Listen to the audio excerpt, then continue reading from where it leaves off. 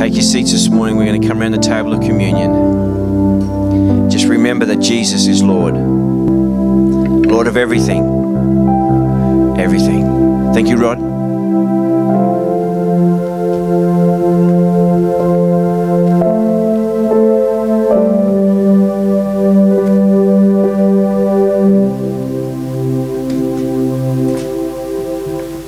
Good morning, people. What Rod said Jesus is Lord, Lord of all. He's my friend. Is he your friend? Come on, guys. Is he your friend? Get it together, eh? We're in church. Let's have some fun. I've um, done some paintings. That's one of my paintings up there. It's a picture of Jesus. Um, done a few other paintings. I asked the Lord to keep it together, to keep me together, because I don't want to lose it this morning. I know I've only got a few minutes. But that's the prodigal son. It's the father. That's the son. And this here is who you all carry. And I'm just trying to wake you up this morning because we've all got him inside of us. And this here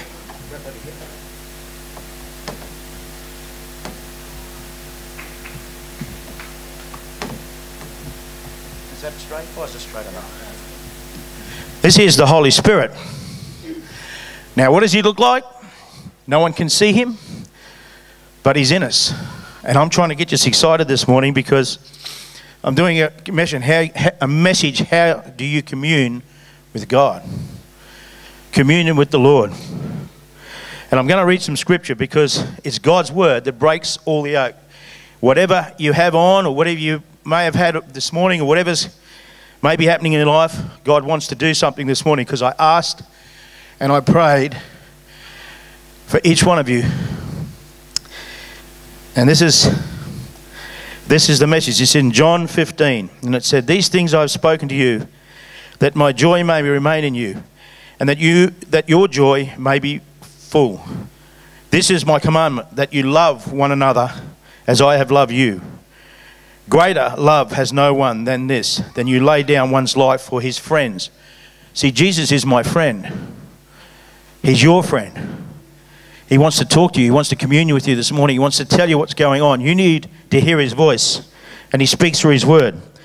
No longer do I call you servants, for a servant does not know what his master is doing, but I have called you friends, for all things that I heard from my Father I have made known to you. You did not choose me, but I chose you and appointed you, that you should go and bear fruit, and that your fruit should remain, that whatever you ask in my Father's name, he may give you. These things I command you, that you love one another. If the world hates you, you know that it hated me, that it hated me before it hated you.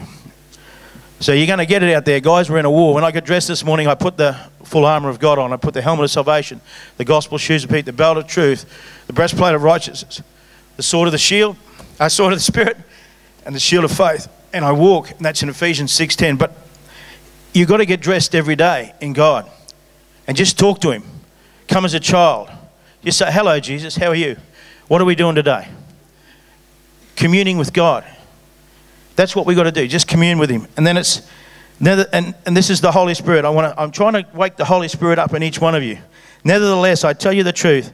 It is to your advantage that I go away. See, I'm going to do something here. I was going to, this here is what it's all about.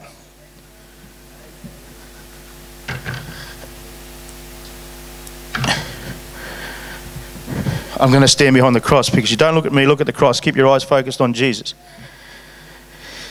And when, nevertheless, I tell you the truth, it is to your advantage that I go away. For if I do not go away, the Helper, there he is, the Holy Spirit, will not come to you. But if I depart, I will send him to you. And when he has come, he will convict the world of sin and of righteousness and of judgment, of sin because they do not believe in me.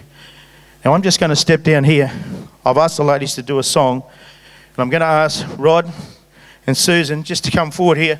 We're going to do communion a little bit different this morning. I want you to think about something in your life. If you've got something against somebody, or something that everybody's got sin in their life, there's hidden sin, and there's sin that we hang on to. But God wants you to let go of it this morning. Let go of your sin. I want you to bring it. And when you come to take the bread,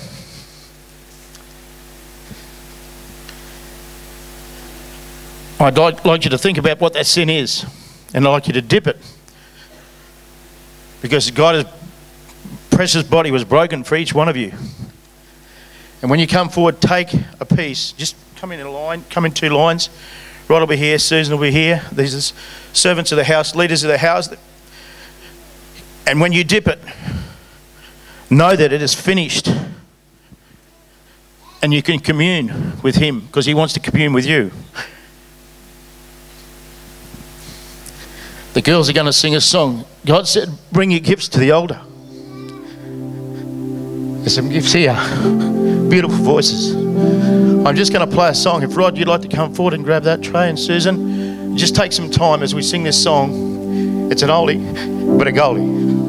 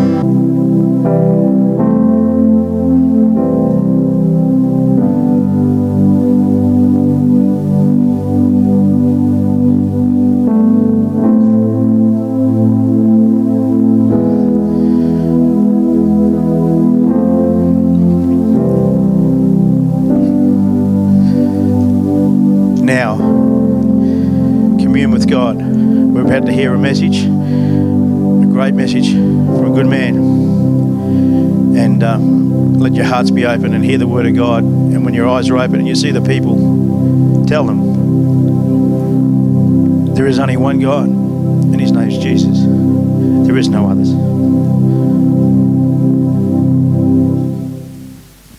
Thank you, Rod. Thank you, girls.